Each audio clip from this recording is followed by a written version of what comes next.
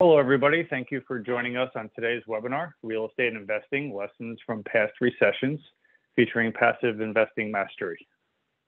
Today, we do have to read a brief disclosure. The Entrust Group does not provide any investment advice, nor does it endorse any products. All information and materials are for the educational purposes only. All parties are encouraged to consult with their attorneys, accountants, and financial advisors before entering into any type of investment. Today's agenda for the webinar, uh, we'll introduce the Entrust Group and our guest host, Patrick. We're going to speak about what happened in 2008 2010, speak about building a recession resilient portfolio, discuss recession factors to always consider, and how to invest today during today's recession. And at the end, we will have a question and answer period. My name is Tony Uncle. I am a business development manager here at the Entrust Group. I have been with Entrust a little over five years now, and we take pride in educating investors and professionals on tax preferred retirement accounts.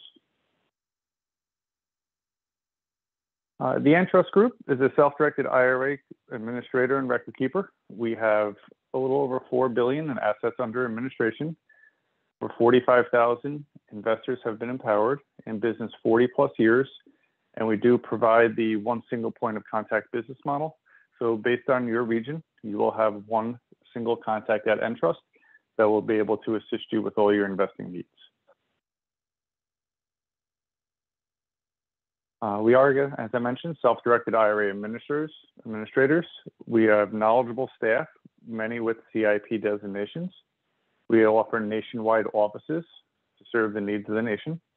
We do also offer in-person events and virtual webinars, provide a national continuing education program for other credentials, and we do hold a biannual IRA Academy where you can train and study to earn your CISP designation.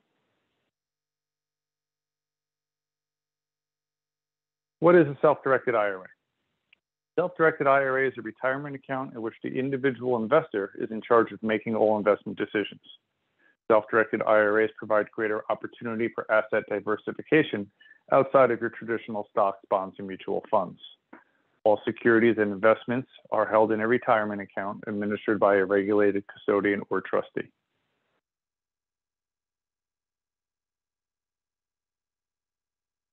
Now we'll turn it over to the folks uh, when they're going to take you through passive investing mastery. Patrick, floor is yours.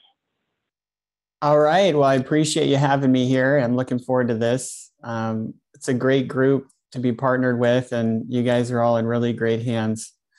Um, and I'm honored to be invited. So I have been through a little bit myself um, in terms of recessions, and so this is a bit of a uh, near and topic near and dear, close to my heart. Um, so we'll talk about the upside of the downturns and recessions here. Um, I'm the CEO and founder of Invest on Main Street, as well as Passive Investing Mastery.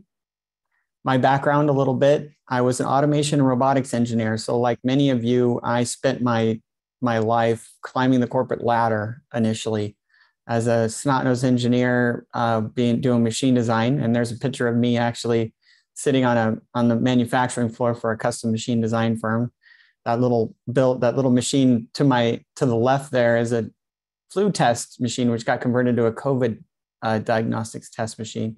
And the top of the graphic over on the left there's a tesla model uh, s rotor assembly rotating part of the motor. Bunch of robots putting copper bars and, and magnetic steel together. And then behind my head there's a lockheed satellite solar cell assembly machine. So we were doing all kinds of crazy stuff. It was a lot of fun very challenging um, one of a kind custom machine design and robotics. And the founder of the first company I worked for said that his only regret was not investing more sooner into real estate. And I was surprised by that because I was I was all in in high tech, right? And so I realized I needed to I read the purple book from Robert Kiyosaki around that time and I realized I needed to invest. And so I I went headfirst and I was very aggressive and I looked for the most highest returning deal I could find. And that ended up being a pre development. And that's the picture. that still makes me squirm a little bit. um, of the pre-development that took me down in 2009 and 10. Um, we'll talk a little bit about the lessons that I learned. Uh, many of us learned. I mean, it was a really crazy time, and and how we built a portfolio coming out of that. But fast forwarding, so in 2008 and nine, I was kind of that that uh, looking to get the highest return. So I had been doing research uh, for what kinds of investments in real estate could produce uh, very quick wealth, like get rich quick and you know double and triple my money in every year to two years. And pre-development, you know, you're you're buying land, you're you're entitling it, you're you're you're making it developable, and then develop on it. And that big spread and and hopefully a short period of time could really make that happen. And I I had partnered with individuals uh, who had had been through this before and I was pretty sure that I had the right way to go about it. Unfortunately, I was naive. I didn't know what I was doing. And I purchased it all in the land in my own name. And I did that so I could use my own credit uh, and my own liquidity to get the best bank terms, which meant I got high leverage. I was like 90% loan to value. so um, didn't there was no cash flow coming from this thing. And I was hoping that on the other side of uh, moving through the pre-development and the construction phase that I would have something to rent and then I would have something or something to sell before the market crashed. And I didn't even, it was back in 2007, the market was never going to go down, right? Everything was on the up and up. Uh, also, I was, uh, aside from being personally guaranteed on recourse debt, I was all in in one investment. I was very aggressive and went big uh, and it went south. And it drug me over the coals pretty bad. Uh, the property, as the 2009 and 10 happened, the the land uh, crashed. All the builders went bankrupt, and because I was in a recourse state and I'd signed on the loans and in the property in my own name, the bank sold my loan and sold my loan to somebody who finally decided they wanted to come after me. And then I had to uh, the fully recourse meant all of my other assets became cross collateralized, which meant they could come after everything I built to that point outside of this investment. So a lot of lessons learned there, and we can talk through and how to how to build out of that. I uh, scaled. I kind of came crawling out and, uh, got a master's in engineering and business. Started succeeding very well uh, in automation and robotics. Um, kind of bounced around to some companies, climbed the corporate ladder, and then had money to invest again. I looked for recession resilient markets, ways that uh, I, places that I could invest that were fairly stable in recessions, buying for cash flow, which we'll talk about here in a couple minutes. Uh, and then when I did single family, I did that long enough until I met my wife. And then I realized, well, I can't really run a professional career and try and also be an investor that's successful because I'm moonlighting it. I'm using all my free time for my family, friends, and hobbies and not pursuing this lady who I want to marry. And so she was there for my last single family closing. And then after that, we decided to trade up to larger multi and founded Invest on Main Street, private equity firm. Uh, now I write for Forbes. I'm a best-selling author. I've been on uh, over 50 podcasts and I speak on stages through the country talking about investments in alternative in the alternative space. And what we want to do is provide individuals like yourself, you know, busy professionals, another way. Another way to invest outside of what is typically the, the employer sponsored 401k and IRA, where you can self direct it by the pals here on this uh, that are hosting in this webinar. They give you that opportunity by taking what is normally in the stock market and then putting it into alternative investments by self-directing. And if you look at why why would we want to provide these kinds of opportunities?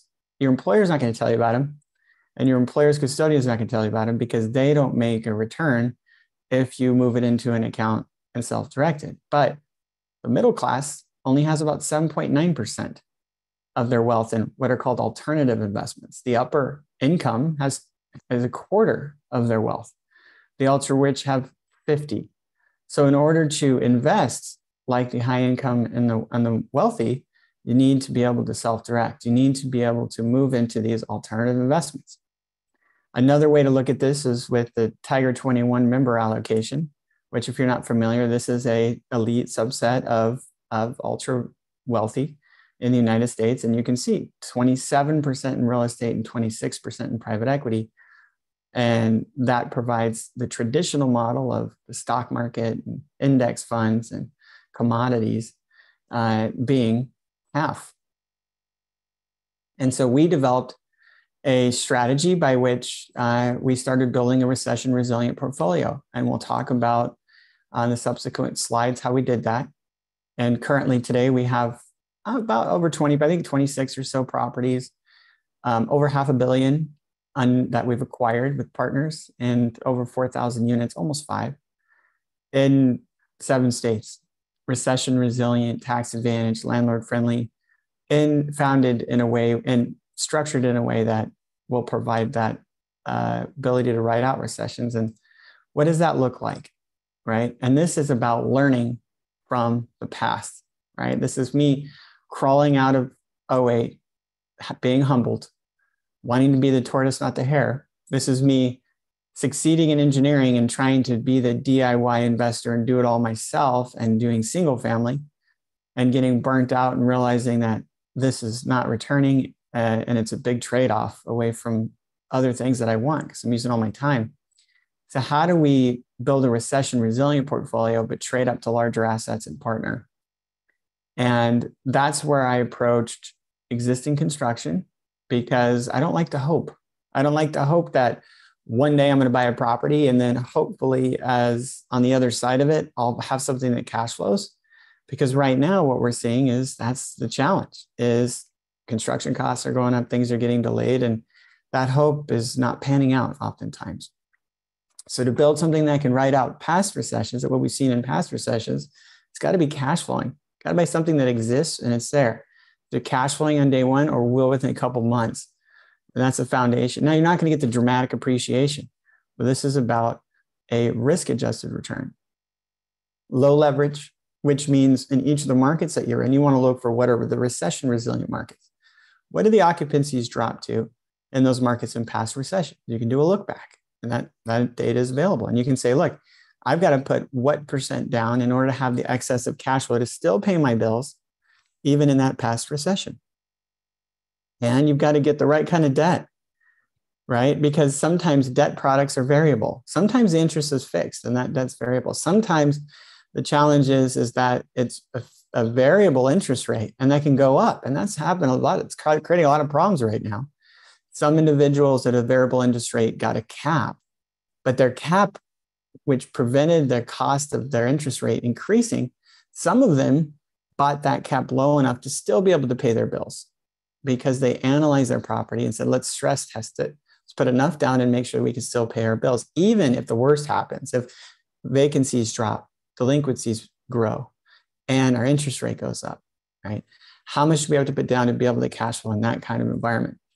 Um, some people didn't buy a cap and they're in a lot of trouble right now, and all of their income is being consumed. So, building recession resilient portfolio to be able to ride out over the last decade, uh, ride out these recessions and not only buy existing construction, but don't buy and hope values go up, but buy things that we know are underperforming to the nearby comparables that we know we can improve and increase those rents and create value, work to go and create that value.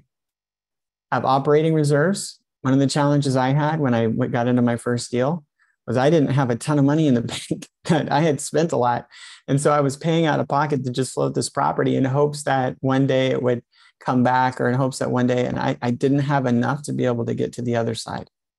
So I couldn't pay my bills. I had to stop paying. Bank took the property. Uh, operating reserves, we keep six to eight months worth of operating reserves just in an account. What does that mean? It lowers your return, but your capital is preserved because if you have insurance, which is the next item, a tornado, a flood, a fire could hit. We're going to show you some properties where that's happened. And unfortunately, you're covered. But if you get a, you're flooded, you have to float the capital until the insurance pays up. And a lot of the distressed operators that we're finding deals from today are people that didn't have one or more of these.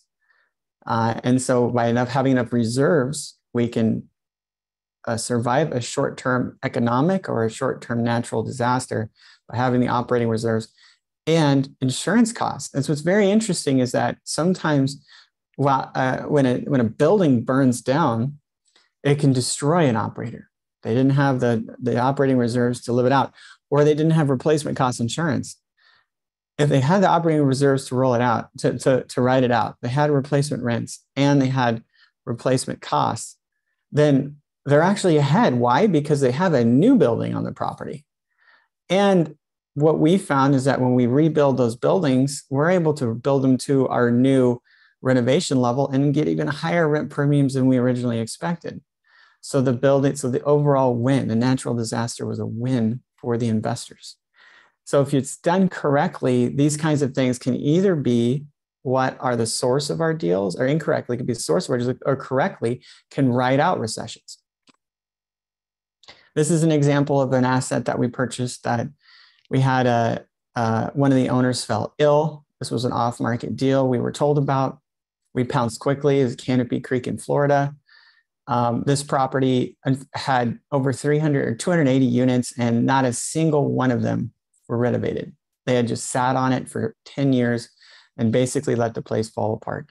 It was a beautiful building with great bones, just outdated interiors. And one of the partners was about to pass. We moved very quickly. We used actually a family office to, to put up all the capital to close. We backfilled it with a syndication, a typical raise, many from retirement accounts like yourselves. And because we were able to move in, buy it right, move quickly and buy from a distressed owner, and buy something that we could add value to, we were able to renovate very fast and capture that value. 10 months later, we sold it, we bought it for 27 million, sold it for 37 million. We did a 1031 exchange in the subsequent deal. Uh, this property right here is kind of, it's one of those ones that still makes me cringe a little bit. I, I was sitting right here in Waikiki when I got the call, um, and that there's a distressed operator that has a building and he's got delinquencies 19% of his residents weren't paying that's called bad debt and he wasn't able to pay his bills he had he had been delinquent and he needed out.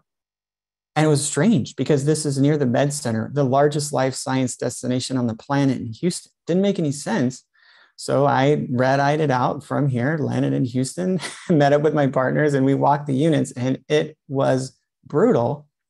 They had completely neglected. He had taken his his uh, his issues with income out on his residents, and there were pest issues, there were mold issues, there were foundation issues, uh, when we did the lease audits, we found we actually printed out a stack of paper uh, as thick as a ream of unanswered maintenance requests. And what happens when you do that?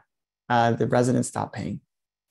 Um, and there were so many down units at that point that spiraled. He got more of the wrong residents. The reviews were bad, which draw in more of the wrong residents, and he uh, spiraled down.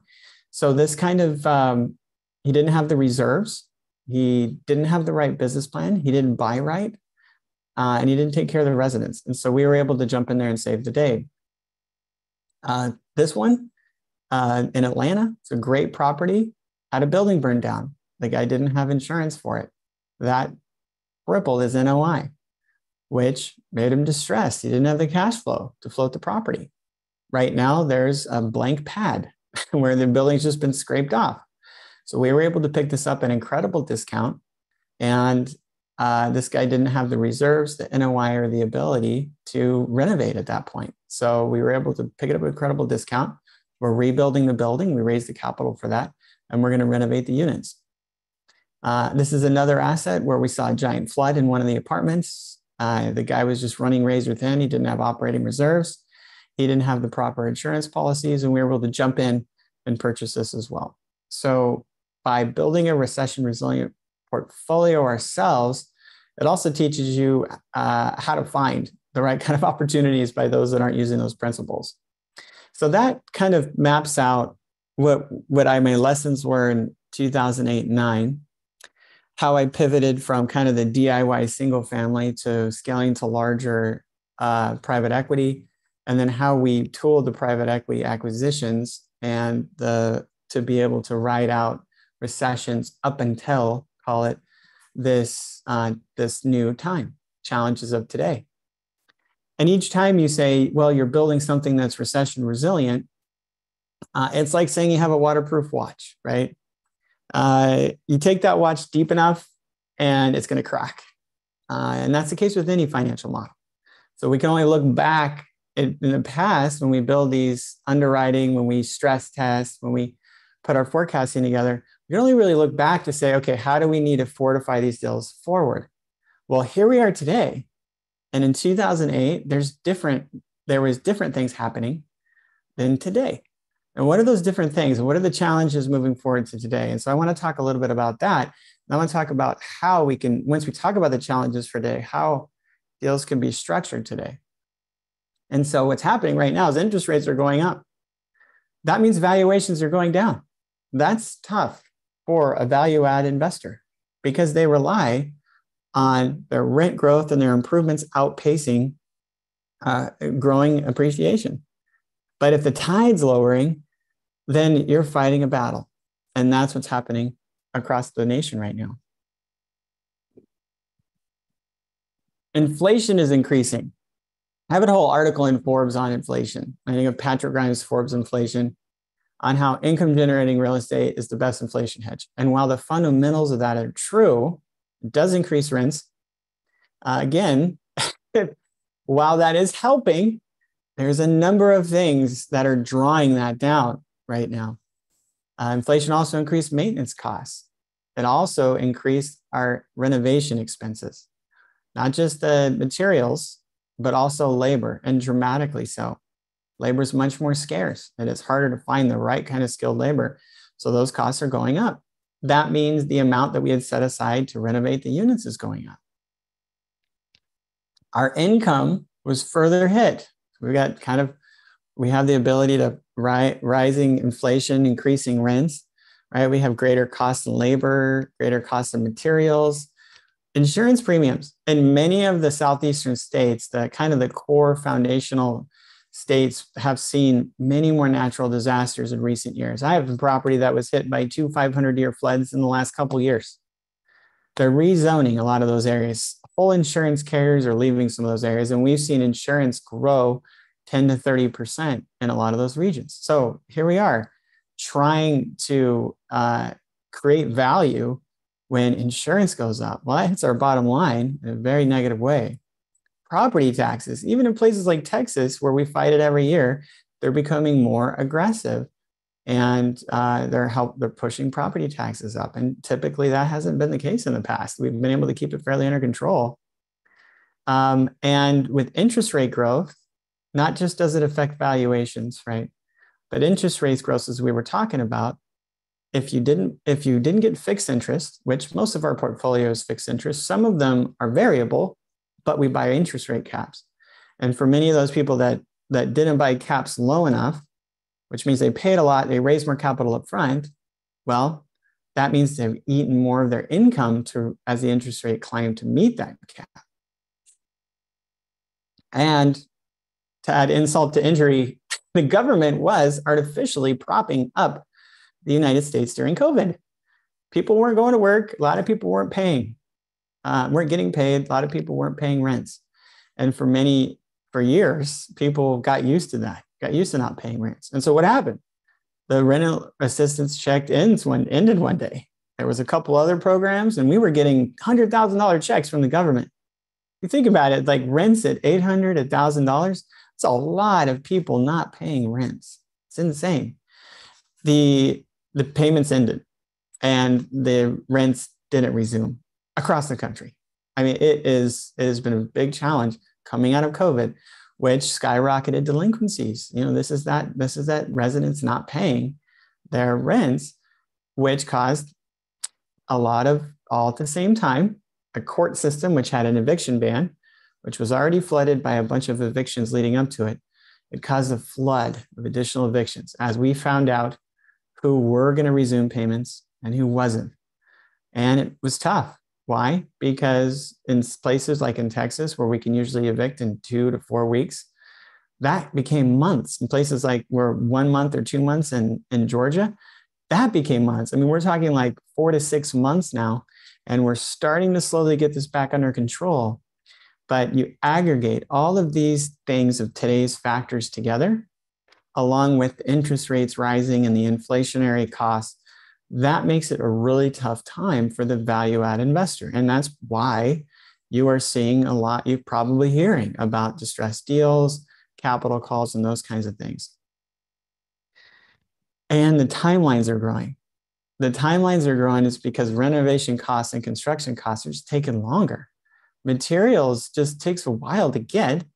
There's a bunch of backlogs and evictions. That means we can't get people out. If they're sitting there not paying for, you know, four months, that means, and we have to do the eviction. That means it takes initial four months to just of not collecting rent to get them out of the unit. That means we can't in, get in there to renovate. That means we can't get in there to increase value. So we're doing things like cash for keys in some areas, right? And keep it in mind, now we had reserves, we have tons of cash flow, so we're making it. But and we're strong, we're strong operator right man. It is tough time, no doubt about it. So, um, and which is delaying the rent increases. Now, now that means we should all like hide, right? Run away and hide and duck and cover. Not at all. And it's because every single year you can watch the news and they're going to tell you about something going on. But you know, Warren Buffett talks about time, timing of wealthy investors. They they wait until people are fearful. They wait until there's opportunity. And for the last decade, we were relying on finding these deals where we could slowly make improvements with renovations over a couple years. But in 2009 and 10, billionaires were created by people who acted and people who bought during that time. So be fearful when others are greedy and be greedy when others are fearful. No Warren Buffett. Today's deals is about leaning into the recession and investing in a different way. And so while building a portfolio to ride out recessions and how we knew recessions to behave from past is allow us to ride these out, but doing deals now today, what's that different lens that we need to look through to make sure that we can do that? And as you look back at 2009 and 10, and I have many friends that made it huge. I was struggling and they're raking me over the coals for investing in the wrong things at the wrong times. But in 2009 and 10, I know people that became billionaires because they made their money on the buy. They made their money on the buy, not the sell. They took the opportunity to buy when they struck when the iron was hot, essentially. And that's that's the right strategy, whether it's real estate, business, or stock markets. So I'd make an argument that winning with the recession today means that for the last 10 years, we really didn't have this kind of opportunity. This kind of opportunity, which we're seeing a lot of not distressed assets that require a heavy lift, but there's a lot more of distressed operators, ones that were were strong, they thought, but they didn't foresee the aggregate number of things that could happen to tax them. Things are taking much longer. The timing ran out on their debt clock. Their interest rates are too high for them to continue. Their evictions are too high and they're not sophisticated enough to turn over the resident demographic. Their, their construction costs and renovation costs are higher than they forecasted. So they can't get increased rents to make up for things like higher insurance and higher taxes. There is a large wave right now of what we're seeing is really solid assets owned by distressed operators. So making a return on the buy, not value add, or sure, there's value add. There's always some kind of value to be added, but it's the reliance on that. When you can't rely on rent growth that's not consumed by greater costs, you can't rely on appreciation through renovations. So you got to rely on the buy just like we saw people do in 2009 and 10. Now, for that, right now, we believe the strategy is direct to motivated sellers. Uh, brokers have, right? There's this big disconnect right now between where property values are and and where owners want to sell. and uh, then the brokers are trying to appease the owners, and so they'll go out to the market. And there's all these other operators who haven't figured out yet that these aren't good buys anymore. They're just doing the status quo. the deals look the same as they did one, two, three, four years ago. So they're outbidding these, paying way too much for these properties that are on market, that are out there to 20 or 30 people. And a lot of those aren't closing because the banks are saying, no, you overpaid. This is, we can't lend enough for you on this. And so uh, right now, I believe the best opportunity, I mean, we do have a good lot of broker op, uh, relationships, but the best opportunity we find is direct to owner. And you see some of the examples of some of the stuff we've done. But uh, finding motivated sellers, finding distressed operators, not distressed assets. This isn't the time necessarily to pick up the rundown clunker and try and make it better. This is the time when there's a bunch of shiny shoes on the ground, but people like, I can't afford the shiny shoe anymore. Do you want it at a discount, right? Do you want, and that's that's the type of stuff that I think that we can find. We are finding, and we actually have some it's the right kind of strategy for today. And while we will put layers of maybe some value add, that's not required to meet our projections, right? That, that would be the cherry on the cake. And you, as always, you need to buy for cash flow. That's very tough to do because with the greater cost structure and the greater interest rate, it has consumed a lot of the cash flow in a lot of these deals. That is still a requirement you cannot like make the mistake like I did. No, I don't care what price you bought it at. It still needs the cash flow because if there's a downturn, needs to be able to ride out that downturn. So we still have to keep those fundamentals, uh, those fundamentals there. We picked up an asset that needed a couple lease ups, but we already had brokers in place that could help us lease those up. And so they need to be stabilized or they need to be stabilized quickly. And within a couple months is what we're targeting. So our strategy is not long-term holds right now. Our strategy is not long-term value add where we're trying to outpace the receding market or the, the tide lowering. We're not trying to outpace that by improving value. We're going to buy it at a good price and then we're going to move on. Maybe do minimal light value add. We're going to move on quickly to the next asset and buy it at a good price and then move on to the next asset. And by doing that, we can, you know, buy assets, you can pull out capital, then buy two. And then and then you can trade this one forward using an exchange. And then you can, you know, then you have three. And then you can then do the same with this one. You have four and then eight and then 16. And that compounding ability with shorter term holds, I believe is the right strategy in this market because there is a higher flow of good buys that each time you make a step by buying right, you make a large leap in equity, in yield holding it as a diminishing return right now. Because the longer you hold it, interest rates go up, valuations shift, you struggle to value add, your return goes down.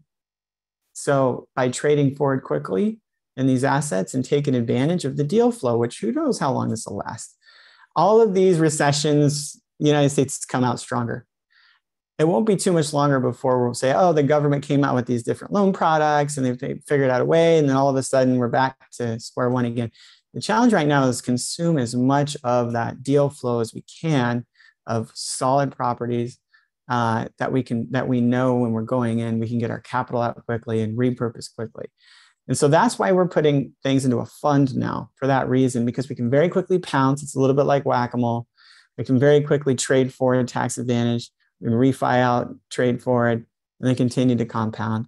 And within the cash flow play, by doing a aggregating compounding uh, structure, you may get a small cash flow. Cash flows aren't big today. Right? You have one deal, you're not going to get that much cash flow. But if you buy that deal and you trade it into two deals and then four and then eight, that is how you can get strong cash flow. It's the tortoise, not the hare, but by doing this strategy and taking advantage of the deal flow and the replicating, you can start getting more and more properties with with very little cash flow that then compounds to a larger cash flow check coming in. And with one capital raise, you can continue to aggregate and buy more. It helps to mitigate risk, right? Because you build diversification geographically. We're actually in different asset classes. You're not worried so much about long-term ownership. You're more worried about buying it and moving on. So just like always, it's very difficult to find uh, deals and has been for 10 years. Now uh, it's a little easier because there's intelligent software and AI tools that help us to pinpoint across our target markets, uh, where to find deals.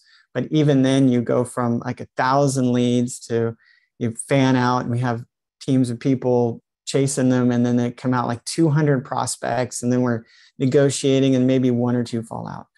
So it's the similar kind of slog that we were doing before, with just a lot of challenge and struggle to find deals, but a very different approach, very different criteria, different filters, pointing at different kinds of uh, of of operators, different kinds of investments, and uh, but then, just like before, we find the winners, and I think it's it's it's just a different approach to the same kind of challenge as in the past. Um, let's see. So, I mean, here's an example of a, of a property. This is a direct to owner acquisition. The seller's spouse recently passed away and leaving them leaving them to manage the entire portfolio of 100 single family properties and a 72 unit complex. This is an exa- is typical example. Um, we had a son, for example, in another asset that was a software developer in, in San Francisco. He was left assets out in uh, the Midwest, and he didn't know what to do with them. Those are the kinds of people who want to get rid of it. Commercial's not popular right now. He had neglected it. Similar kind of strategy. Seller was just simply overwhelmed and needed out. This kind, and it, and it wasn't occupied. This is, makes it really easy for us uh, to buy. I mean, not only did we get, I don't know if we have the actual results of this one. So we don't have it actually. So this one actually appraised for, uh, I think it was almost like 2x what we bought it on the day of closing. So when we got it, it appraised for 2x what we bought on the day of closing. In addition to that, we get to do the lease up. So this one was just an incredible make your return on the buy. Uh, this was a broker pocket listing. Seller ran out of funds for another project. So they became distressed because they had another project that didn't go well. Wasn't this one at all. It wasn't this one at all. It was another project that was distracting them, keeping them away from this, that was tanking them financially. And they needed to liquidate this to keep their other portfolio alive. This is a great buy. 60% occupied. Um, another apartment community, 132 unit in, in uh, uh, Louisiana. Seller was getting old, wanted to retire without the hassle of managing the property or dealing with lengthy closing times. So they wanted a quick somebody to move quick and do cash, 50% occupied. Everything was in great shape. They just completely ignored it. Very light to no renovations needed. It's an amazing buy. It's a great building. Performing just needed some attention. Somebody just wants out we can move quickly and acquire it. And here's a retail center. Like, what's a retail center? Well, in this kind of environment, uh, where we're not looking to hold something for a long time, looking to get in there, pull out what we know to be the um, the the equity that we know we can get from it just before we even close on it, and then do a trade forward so we can buy another one and then buy another one and then multiply these. The retail centers are a really good space right now for that because there's a bunch of retail centers that uh, people are just tired of it. They, they struggled through COVID, they're worn down and they want out. These are still performing, these are still profitable retail centers. The owner was busy with his career. He's a doctor, leaving his inexperienced wife to help manage the property. The property was in good shape in a nice town with good traffic volumes. Since the management of the property wasn't great, they decided to focus on on their, their core investments in gas stations. And uh, we actually, it's funny because on this one, the, uh, the wife, uh, she was, she, there was a couple, couple of the units that um, were vacant. And she goes, she goes, ah, I can tell when somebody walks in whether or not I'm going to rent to them. I don't like anybody the brokers bought. She was just very, uh, very frisky and didn't really care so much about, about the income generatability to the property. This was just a big annoyance for them, and they just simply wanted out um, and just able to move on it quickly and be the source of relief to them. Uh, so that gets to the finish, and that kind of explains the the difference between the traditional approach of of or kind of the beginning of the high risk speculative high returning deals resetting to smaller, manageable single family that consumed my life as a professional and then trading that up to more larger, sophisticated, diversified syndications into growth markets that are recession resilient and how we did the financial foundation, the projections, and found the right properties to ride out a recession. But then fast forward to this recession, how things have changed and why we're not doing strategy of yesterday today. It's a great strategy, but today there's different opportunities uh, to respond to today's challenges. And as the tide recedes, there's opportunities for us to ride those waves in of opportunities that, that pick up. And that's a little salute to the uh, surfers behind me here at Waikiki Beach. so um, I'm not great at surfing, but I'm learning. So it's my, my attempt to make a surfing joke. So that, that concludes. I'm happy to answer any questions at this time. And we do have right there is a 2D barcode. Um, on that, we have the opportunity for you to subscribe so you learn about our investments. We do have uh, a, fund that meet, meets our strategies. We have some other funds coming up on the debt side as well, all recession focused on taking advantage of the downturn. I'm also giving away a free copy of my uh, Amazon bestseller. I did a chapter in. Um, it was a really fun book. It's called Persistence, Pivots, and Game Changers. I tell my whole story of the ups and downs and ebbs and flows in the high tech world and losing it all and coming back and then trading all my time to try and do it myself and then and then finally trading up and then becoming free enough to be able to move to places like Hawaii and travel around and, and I get to spend a lot more time with my family. I've got tell my whole story in that. I mean, pick it up. I mean, we sent I I I give I give it away. I sign them. We ship them for free. I, it does help to inspire a lot of people that set up calls with me. They're like, "Hey, I, I enjoyed it." It's not just my chapter, my stories in there. Lead guitarist at Def Leppard, um, NFL, and NBA players. I've got a handful of people who are just so awesome to work with, actual rock stars. So to work with, and um, happy to send a signed hard copy of that and talk. And even if you're not an accredited investor, which we work with accredited investors, hundred thousand minimums, happy to talk with you. Uh, to try and get you pointed in the right direction. I do know some other people could potentially help you out, but uh, just so you know, our investments are for accredited investors, and that that'll probably come up eventually. And check us out, investonmainstreet.com. We have a lot of content. Like I said, I got a bunch of articles on Forbes and webinars, and I talk on stages.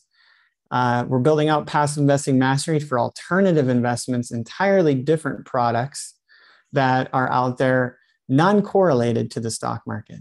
Again, helping to fulfill that 25 to 50% of the alternative space that should be in everybody's portfolio to invest like the high income earners. And just give me a call. Happy to chat with you. It's part of what I'm passionate about doing. And scan the barcode. Thank you very much, Patrick. Very enlightening. Uh, it is now open for our Q&A section. Uh, Patrick will leave his contact information on the screen. Uh, since we cannot provide any type of investment tax, or legal advice. Certain questions we may not be answer, be able to answer live. Um, if we come across one of those questions, I'll just uh, I'll message you in the chat and ask you to read out reach out to Patrick directly. Uh, please find his contact information right there on the screen. Um, Patrick, outside of previous goodwill and reputation, how does your firm become a prize of direct buys from sellers? Well, so traditionally, it's all been through uh, reputation and it's all been through word of mouth. This specific time, we are approaching it very differently. Like I said, with a separate kind of database that we have that looks in specific regions, and we look at different kinds of data associated with the type of loans and the timing. And then we use an out we use overseas help to help target and identify, search out the owners directly. So there is a a pretty big mousetrap there. It's very expensive to run. I think we're paying like 200 grand a year just to run that deal finding mousetrap, not including the acquisitions negotiation side. So, uh, and and that's been very successful. I mean, there's been four acquisitions outside of the fund uh, that we have to prove the acquisition engine, the scalability, and the ability to make the returns in the timeline. And and that's why now we're putting everything in a fund so we could pounce quick and trade forward. Great, thank you. Uh, do you manage your own properties or do you hire a property management company? It's a combination. Most of our portfolio now is uh, self managed through us or through partners. And partners would mean uh, oftentimes we'll bring in, if it's people that have experience in certain regions, we'll either partner with different individuals who have the experience in those regions of managing, or in some cases, we have worked with uh, existing property managers, which have been doing a great job. Um, it depends on the property. Great, thank you. Uh, we could probably both answer this one, but I'll let you start. How does this translate to investment in a self-directed IRA? Well, really good point. So, uh, all of our investments allow for uh, investments through self-directed IRAs, and the effects of it are similar to any other syndication. Most syndications, there's a, a component of debt, which means that instead of direct buying a building all in cash with your IRA and taking all the returns back to your IRA account, um, you're going to lever it up, right? You're going to put some capital in from your IRA, and then maybe that'll be the 20% of a down payment, and you get 80% from a bank, which is great because now you're going to get a bunch more profit, right? So, but that hits a UBIT, and um, UBIT is a tax that uh, individuals end up getting a, a levied against their IRA account. And it's and if you're getting a UBIT tax, it's a really good thing because it means you didn't just buy a billion in cash. You used leverage from the bank and you're getting a whole lot more back to your IRA account than you should have because it wasn't your money that you're getting the profit on, it was the bank's. Um, so there is a UBIT tax associated uh, with most investments uh, from IRAs. And uh, there will be in, in our funds However, we do have a blocker, uh, a blocker which is a, a C corp and allows for you to invest through that instead, which eliminates the UBIT tax for you. The blocker pays uh, corporate taxes and settles that up, which is a lot less uh, than most of the UBIT taxes. So allows you to invest in a more tax advantaged way and not have to deal with UBIT, specifically in our recessionary acquisitions fund. So we're very sensitive. Most of our investors even though it's it's a huge win for them, they don't like it. It's kind of complex to deal with, and so we provided a route specifically for our partners like Entrust uh, to be able to do this with. Thank you. And do you have a minimum buy-in? Yeah, we've always had 100,000 minimums from accredited investors.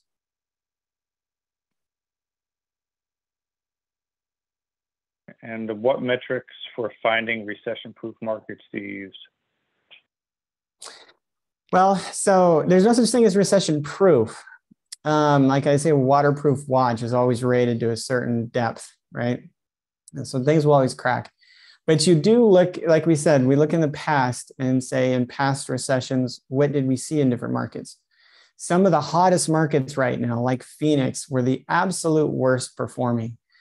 It took 12 to 14 years for Phoenix to break even after the 2008 recession. So we don't do anything in those kinds of places. We don't do anything in Orlando. We have something in Jacksonville, but Jacksonville, Florida, for example, is more logistics and military education than it is tourism, like the rest of Florida. Most of the metrics that we're looking at have to do with the diversified employment. And if you look across the diversified employment, what is it heavy weighted in? And are those traditionally employers or industries which have some recession resilience? uh, um, education, finance, logistics, infrastructure type. Uh, some places that are really high in one type of manufacturing or high tech, um, like San Jose, those tend to be the biggest losers. Um, and we saw some of that. So we're looking at the past data. We're looking at what is the uh, makeup, the diversified makeup, especially healthcare. It's, it's a big one for me. And then we're looking for are they landlord friendly? meaning and tax advantaged, meaning that are they bringing over uh, are they bringing over businesses? Uh, not only are they bringing over businesses that will bring employment, um, but are they setting up such that it's friendly for us to do business into, unlike the coastal states or New York and California, where you, you can't raise rents and you can't evict and things like that. So we look at a myriad of different factors, and um, we have a little bit wider net. We have a little bit more of a luxury with recessionary acquisitions because we're not so worried about the long-term growth and you know the long-term turnover. We're more worried about getting in there and trading it forward. It's a little bit more leeway, but still the foundational principles are there. Great, thank you. Um, and I know you touched on this briefly with the AI, but how are you finding your distressed properties and how do you locate investors? Yeah, so I already talked about how we're finding the distressed properties. How do we locate investors? Well, so I started my career in high tech. So I, I had I had you know entrepreneurs, business owners, executives uh, from some of the largest medical device, EV, defense uh, companies investing millions of dollars into robotic solutions, automation technology, that custom machine design. And so I came out of this space where I was doing very, very challenging technical uh, projects that were much more risky uh, than what I'm doing now. and so I had developed a network of, of people in that space. When I got in, when I got into the business, it was not friends and family. It was just 100,000 accredited investors only, and mostly from my high tech background. Um, but since then, as I mentioned, uh, I actually kind of got my head out of the grinding wheel, as most engineers just tend to kind of stick, stick, stick, uh, just get the work done, kind of. And I, I, took some advice from a mentor. I've got a, a best-selling book out, which I'm offering a free copy of. I speak on stages. I'm on podcasts now. I've been on over 50 podcasts. I've got an article or chapter coming out for Wall Street Journal book. I've got articles in Forbes. And I actually had my application accepted for TED recently. So I'm actually trying to apply to certain TED talks right now, talk about the, uh, the fallacy of the American dream and how that's changed. So I think getting out there and talking about my story and becoming, you know, relating and trying to sincerely, my, my wife and I, we're doing just fine now. And we really want to give back and educate. And I think that's helped to draw in a lot of investors uh, that are like minded and on a similar path. So in short, you're everywhere. I don't, I don't think I'm everywhere. there are people everywhere. I'm not a guru. I'm not out selling coaching packages, but you know, I do uh, I do accept invitations when they come, and I appreciate you having me here today. Great. Um, and then last one are, and I can answer this, so we both can answer it. Maybe it comes across to you as well. Are RIAs, registered investment advisors, a source of investor procurement or does their self-interest of keeping client cash under their umbrella leave them at loggerheads? Uh, I'll touch on that quick. In our world and in the Entrust side, we do work with a ton of RIAs um, that truly want to diversify their clients' portfolios. So I wouldn't put them all under the same umbrella. Of course, there are going to be some that want to keep that AUM with their broker dealer, but a majority and a lot of them do work in the best interest of their client. So for Entrust, RIAs are a nice source of client base for us. And then for Patrick, do you work with RIAs, family offices, and such? I'm happy to speak with them. As uh, as you mentioned, it's a little bit hit and miss. Um, you know, a lot of the time they're very much looking to keep a, a similar fees uh, that that they get, and um, and I, but I'm happy to speak with any of them that that want to talk. And we have family offices that have invested, private equities that have invested, um, but we try and keep it fair. We don't write a bunch of side letters. So we, we specifically state any side agreements will not affect other LPs' returns. So um, if they're willing to come to the table and play in the same way that other LPs do, and um, then we're, we're happy to speak with them. And we want to make it a win for them because we know that they're just trying to keep food on their family's table too, right? And uh, but I, and I agree, there are some really good ones out there that are truly looking for what's best for their clients. And those are the kind of ones that we typically resonate with. Great, thank you. So that does wrap up our Q&A at this time. If you just go on the next slide, we'll do a couple more points on the Entrust side, and then we'll be completing our webinar for today. So our next uh, webinar will be tax-free growth with Roth IRA investments. You can register, register today on the Entrust website and join us on August 16th. If you have any feedback, please let us know in the survey before you leave the webinar. More information on self-directed IRAs, you can visit our website, www.theentrustgroup.com, and go to our Learning Center. You can feel free to reach out to myself directly. And please do remember to follow us on social media for all of our updates.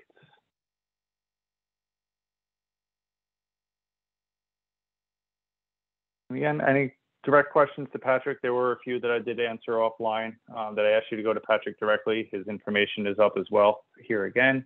And we do thank everybody for joining. Very insightful today. Thank you, Patrick, for joining us. I appreciate it. Thank you so much, Tony.